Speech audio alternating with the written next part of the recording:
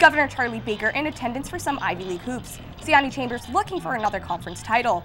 First half, Chambers find Agunwa Okolie for the two-handed jam. Look at that, celebrations going on. Wesley Saunders, Ivy League Player of the Year, gets the tough runner to fall, and now he finished with 11.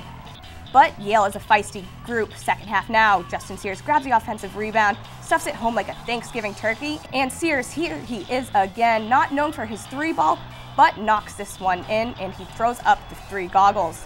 Now Harvard is keeping it close though. Moundou-Missi with another hoop. He had, had a team high of 21 points. But in the end, there was too much Javier Duren. The crossover and the jumper seals the win for Yale, 62-52. Can you say one game playoff? That's one of the beauties of, of our league. It can be hard and challenging, as we know. Um, you know, we we have to turn the page, win, lose, or draw. We're ready to you know move on to the next night and the next opponent. And I'm very hopeful that you know with tomorrow night being senior night, you know our ability to, to focus in and to try to finish the right way.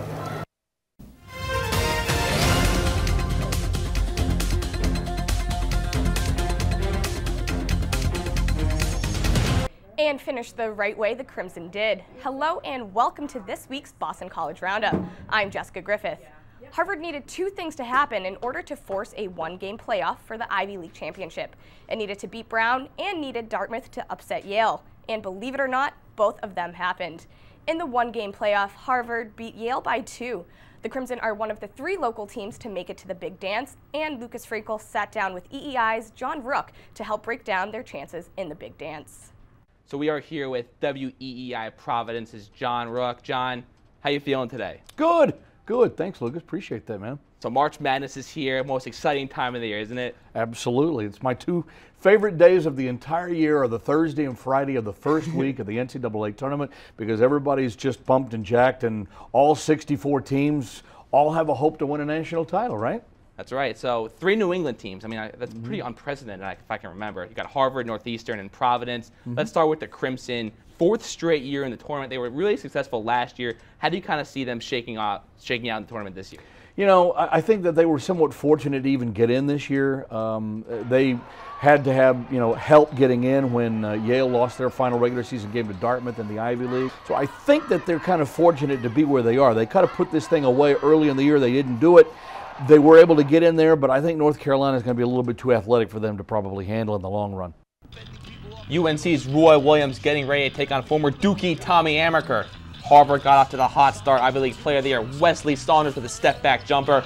Pure on that one. On to the second half now. Brice Johnson misses the hook shot, but JP Tokoto is there to clean it up. Let's see this again. Tokoto with the rebound and finish. What a play later in the second. Harvard down just two. We see Siyani Chambers, the three plus the foul. Harvard's bench absolutely loving this. They got the Google eyes, a big time player hitting a big time shot in a big time game. What a play by Siyani Chambers. He would miss his next three though, and the long rebound leads to a fast break for the Tar Heels, and it's Marcus Paige to Justin Jackson for the go-ahead slam. One last chance for the Crimson. Saunders three is gonna hit the back iron, and the Tar Heels escape by the skin of their teeth, 67-65 move on to Northeastern. First tournament appearance in 24 years. What can we expect from the Huskies? You know, that's a great question because I'm not even sure the Huskies know. Uh, they have a hell of a matchup with Notre Dame just to kind of start it off, so I think it'll be interesting. If anybody could sneak up on one of the big dogs, and I think a lot of people around the country like Notre Dame because they won the ACC tournament, Northeastern could be that kind of team as long as they can play their game and don't get wowed by the it factor and you know don't get uh, completely taken in by the whole Golden Dome. And you know, I don't know if those kids will be intimidated at all. They're Boston kids, right? So I don't think they'll be too intimidated. I, I, think that they can probably hang with Notre Dame for a while, but it'll be a handful for Northeastern. So we got Jerian Grant and Bill Cohen getting set for Notre Dame against Northeastern early in the first half. Northeastern Scott Eatherton is Boston strong power drill, pump fake, and finish in traffic He finish with 18 points. But as good as Eatherton was, Zach Auguste was the best big man on the court. Little post-up action here, and Demetrius Jackson puts on a ball handling display Watch this. Slick handles and finds Auguste on the break for the easy dunk. The Irish love it, and Auguste would finish with 25 points. Northeastern would not go down without a fight. Eatherton slips the screen for the uncontested lay-in to cut the lead to four. But when it mattered most, Notre Dame's defense showed up. Quincy Ford loses the handle. Grant gets his hands on the ball, and the Irish come away with it, and they'll advance 67 65. Heartbreak on Huntington Avenue. So close, so close. Those were equally devastating losses for the Huskies and the Crimson. But if any of the three local teams had a chance to advance, it was the six seeded Providence Friars. Lucas? So let, us move on to your Friars. Second straight year in the tournament under Coach Ed Cooley. No Bryce Cotton this year. How do you think the Friars kind of stack up this year? I actually think that they're a better team this year than they were last year because they have a two-pronged attack with uh, Kris Dunn, who's one of the best point guards in the country that probably a lot of people won't have heard of until this next week, and then LaDontae Henton, who led the uh, the Big East in scoring this year. And Providence is already, I think, a lot of people's uh, sort of um, uh, hidden factor, secret Sweet 16 possibility, uh, upset special, if you will. And I tend to agree. I think the Friars have enough talent to be playing on the second weekend.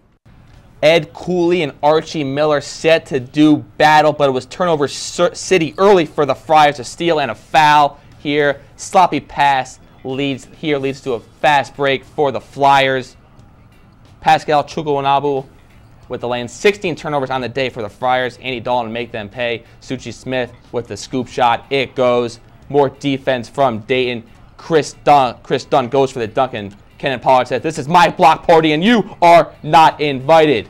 Watch this again. Unbelievable. And from there, Dyshawn Pierre took over from three. Here's one from the right wing. Just a few minutes later, he lets it fly from the left wing. Cash money on that one. He finished with a game high 20 points. And he wasn't done. The pump fake and three, the old-fashioned way for Pierre and the Flyers advance 66-53. They'll take on Oklahoma in the next round. While Boston College may not have made the NCAA tournament, the Eagles went out with a bang on senior night. We'll be right back.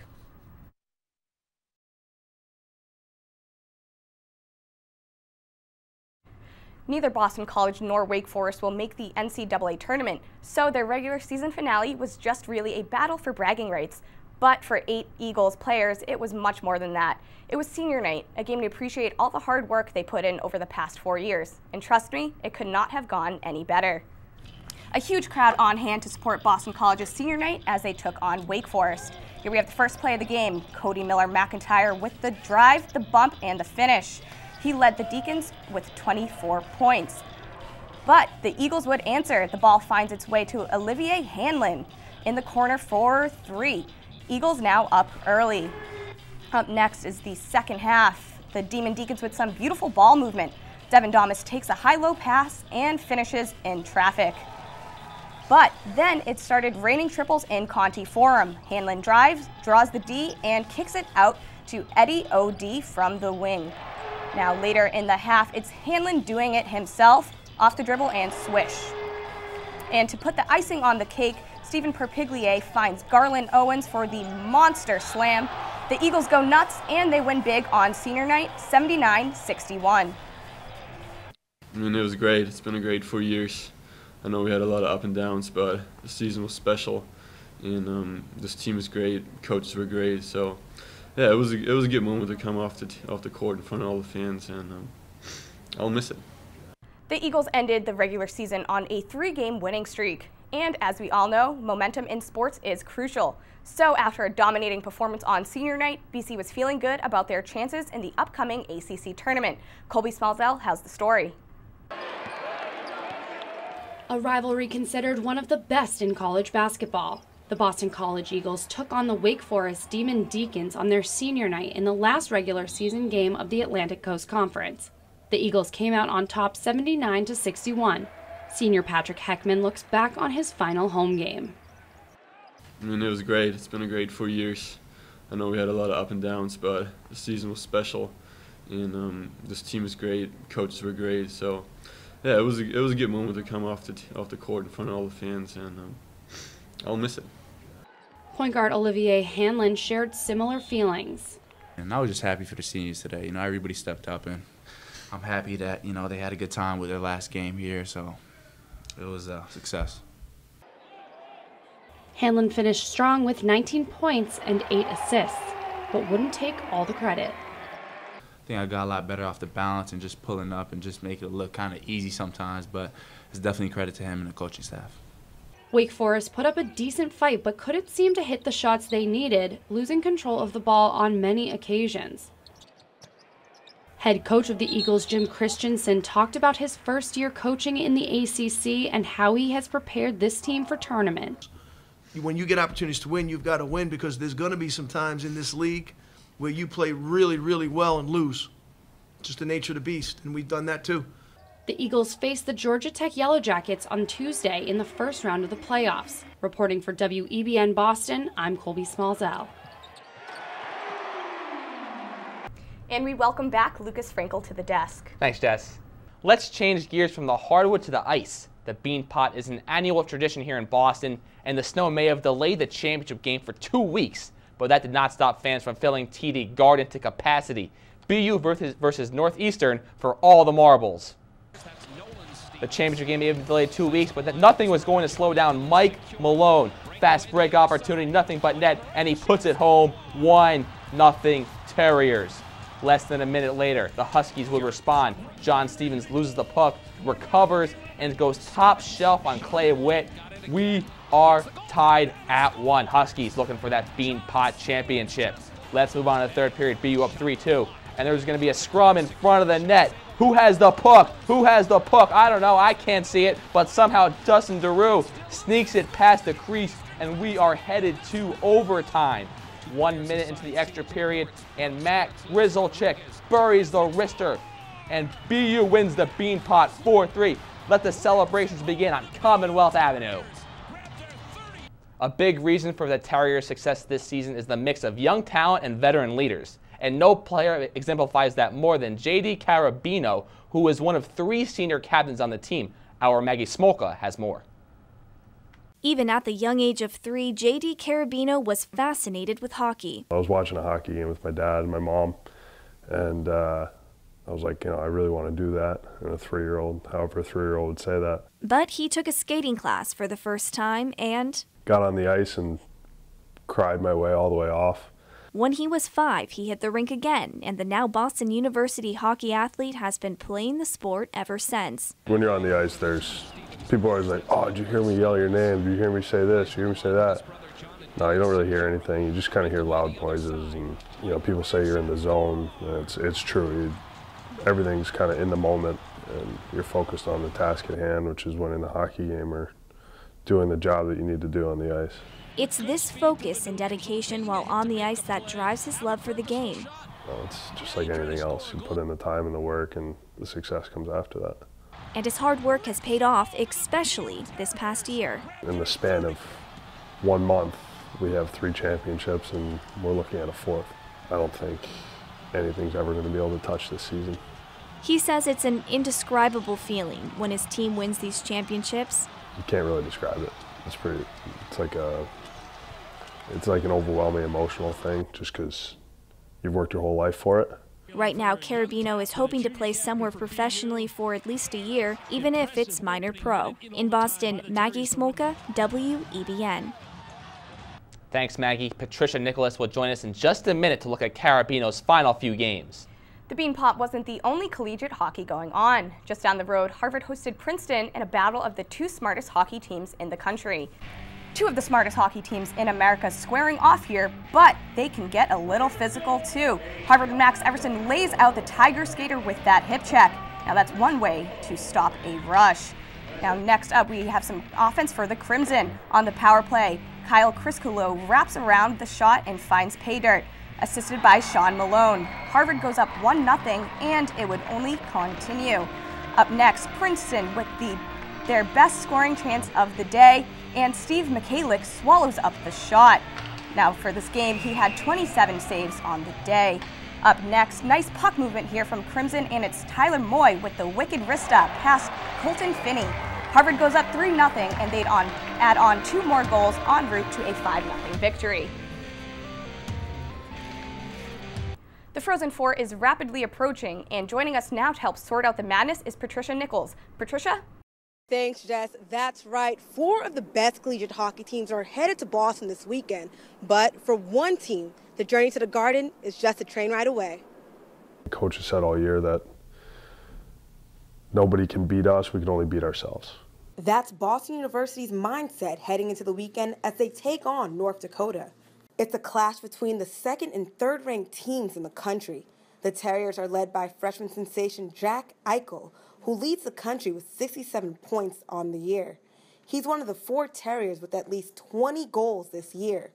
BU's Matt O'Connor is also one of the best goaltenders in the country, and this is a confident team heading into the weekend. When we play our best, there's nobody that can even come close to us. Now, on the other side of the bracket, Providence will be taking on Omaha. This is the first time in 20 years that two teams from the same region have reached the Frozen Four on their home turf. For WBN, I'm Trish Nicholas. Thanks, Patricia. Now, when we come back, two local Boston teams scrimmaged the Boston Red Sox. Find out how they did. And one local Division III star led his team to the Final Four. Do not go away.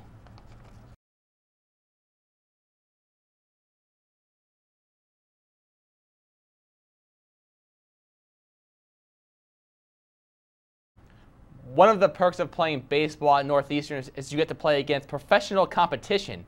And I don't mean future MLB players, I'm talking about the Boston Red Sox. Every year the Sox play a split squad scrimmage against two local Boston area teams. This year, Boston College and Northeastern had the honor. Rick Porcello in midseason form already. One strikeout.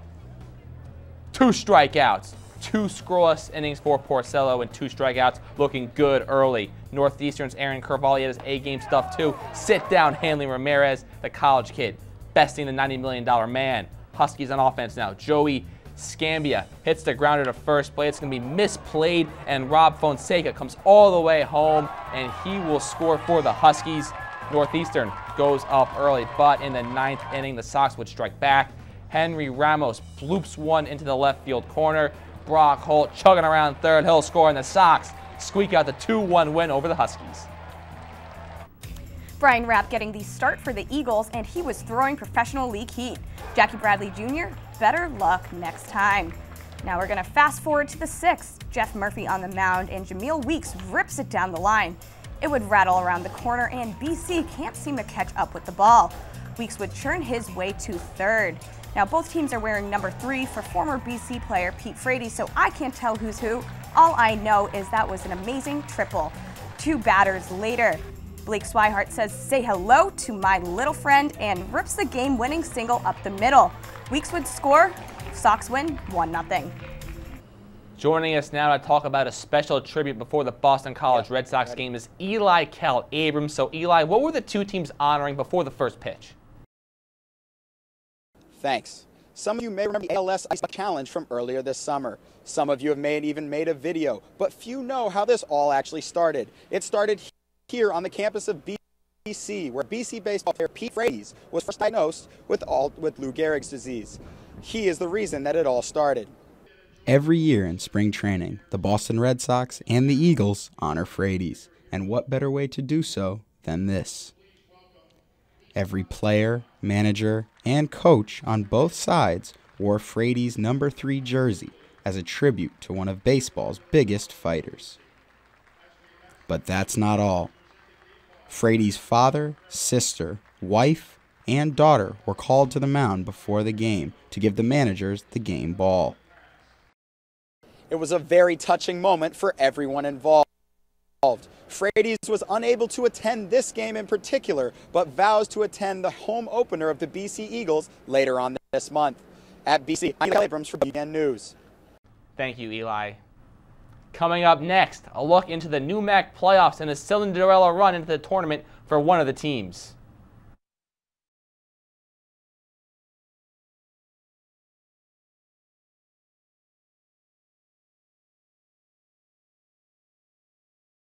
Welcome back. Division One schools get most of the attention in this area. But that doesn't mean we don't take notice of the accomplishments of Division Three teams and athletes. Joining us now to shine a spotlight on those smaller schools is our D3 expert, Isaac Moore. Isaac?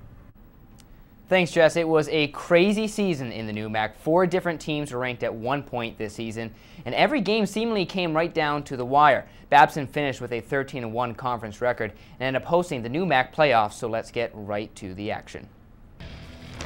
Tim Swenson, a future doctor, getting ready to face off against WPI. First half, John Doncaster off the screen.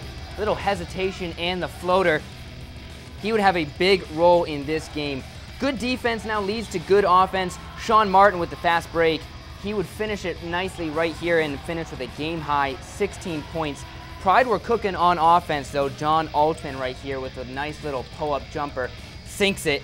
And then later in the half, Martin with the play of the game.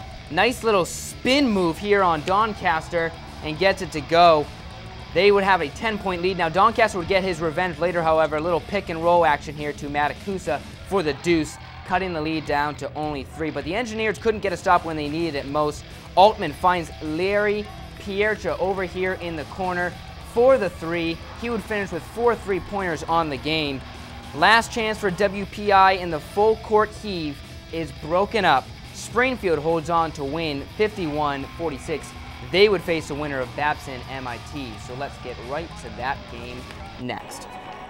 Eric Dean, the captain, looking to lead Beavers against MIT. First half, Ryan Frankel throws the lob to Matt Redfield for the emphatic dunk. Redfield had his handprints all over this game. Here's Babson's Johnny Wiki. Nice hook shot for him right there. Final seconds now of the first half. Frankel would turn the ball over. Dean would come up with it, and he would end up throwing up a last second heave and hits it right before the buzzer. Buzzer beater gave them a four-point lead heading into the locker room and more importantly, a little momentum. Second half here, Joey Flannery taking over in transition. Nice little and one drive. MIT still fighting though. Justin Pedley misses the three. Redfield comes up with it. One of his 17 rebounds of the game resets the offense. Another missed layup here, but Redfield with the tip back in, he would finish with a double-double. But in the end, just too much Beavers inside. Bradley Jacks showing immense effort here. First block, get, uh, first attempt gets blocked but he would finish with the reverse and the foul. His teammates love it, he loves it, and Babson is moving on. Here's coach Stephen Brennan on the matchup against Springfield. Springfield, they're going to use their length and try and shoot over the top, and you know they um, they they score the ball really well. They're sneaky in transition. Babson hosting the New Mac Championship game for the first time in 20 years. It was Joey Flannery show early on. Babson works the ball to him, and he gets a nice little floater here to go for the first points of the game. Next possession now, Beavers get out on the break. It's Sam Bo Miller. He's not looking for a shot, though. He's looking for Joey Flannery, and for good reason. Sinks the triple. He gets the first five points of the game. Springfield would keep it close, though. Nice passing from the Pride. Tim Swenson finds a cutting Alex Garska for the easy layup. But Flannery was a possessed man in this game. Second half, the defense is, defense is just helpless. The drive and the finish for Flannery he would finish with a game high 30 points. And let's not forget, guys, he's only a sophomore. It's still a game, though, with four minutes to go. Swenson finds Altman cutting down the lane. He would put it in to keep, the, keep it 61-55. Babson with the lead, and they wouldn't loosen their grip. Johnny Wiki with the wide open underneath the net for the easy layup. Babson Beavers are your 2015 NEWMAC champions. Joey Flannery is your tournament MVP. Babson, Springfield, and WPI all made the Division III NCAA tournament. Springfield lost to Albertus Magnus in the first round, and WPI lost to St. John Fisher, but Babson made up for both those losses and more. The Beavers went on to win four games in the tournament and reached the Final Four, or as it's known to some, the national semifinals. However, Babson lost by 20 points to Augustana of Illinois to cap off its best season in school history. The biggest reason for the Beavers' success this season was the play of sophomore Joey Flannery. He's not just one of the best players in the new MAC, he's one of the best D3 players in the entire country. For the second season in a row, Flannery was named the new MAC Player of the Year. He was also voted the Northeast District Player of the Year. And if that wasn't enough, he was named the D3Hoops.com First Team All-American. Of the 20 All-Americans, he's one of only two sophomores in Babson's first since 1992. Flannery averaged 22 points this season and six and a half rebounds while shooting nearly 50% from the floor. And that's your D3 segment, so back to you guys at the desk. Wow, that's incredible, Jess. And to think something like that was going on in our own backyard all year long and not many people noticed. That sums it up for this edition of Boston College Sports Roundup. I'm Lucas Frankel. And I'm Jessica Griffith. Thanks for watching and make sure to tune in next time too.